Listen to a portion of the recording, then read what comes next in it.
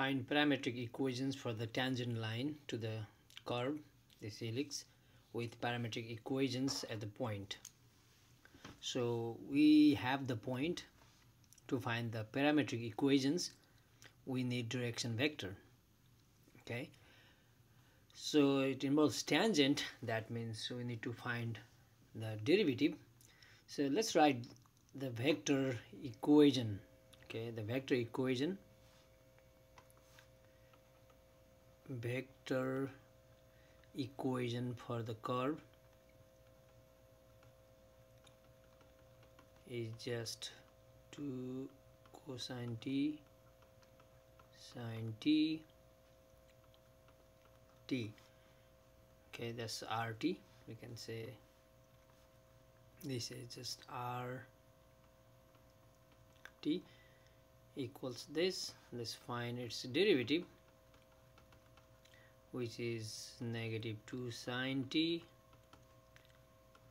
cosine t 1 okay.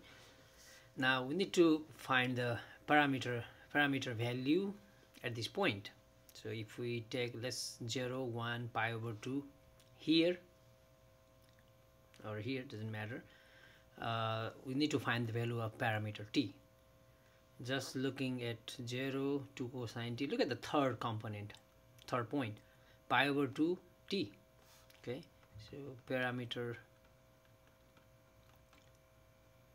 value t is in fact pi over 2 uh, you could have solved in this way. Sine t equals 1 that means t is pi over 2 same thing.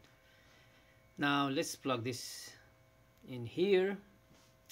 So r prime t pi over 2 sine pi over 2 is 1 so negative 2 cosine pi over 2 0 1 so this is derivative of the curve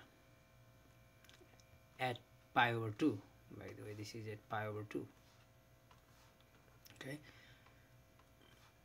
That means this vector is parallel to the tangent line. And that is same as direction vector for the line direction vector like ABC okay it's ABC now to write down the parametric equations for the line we need a point. Point is given here 0 1 pi over 2 now we just found a direction vector thus the answer is x equals x naught plus at y equals y naught plus bt and z equals z naught plus ct. That is we can simplify this. X equals negative 2t y equals 1 and z equals pi over 2 plus t. Okay final